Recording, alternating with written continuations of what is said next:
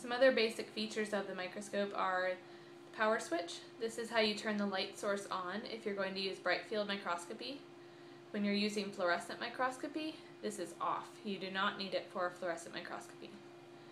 This lamp um, slide here is where you can control the amount of light. As you'll see as I slide it open or to the right, there's lots more light. And you just keep it on the lowest light setting that you need.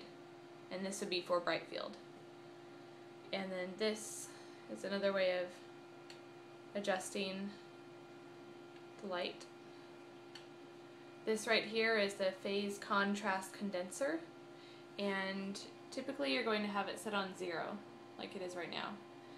The other option that you might use, um, there's dark field, um, phase one if you're doing phase contrast microscopy which is useful for transparent specimens. So for example cells that are unstained um, or anything else that's unstained might look better using this phase one setting on the phase contrast. Those are the ones I've found to be most useful.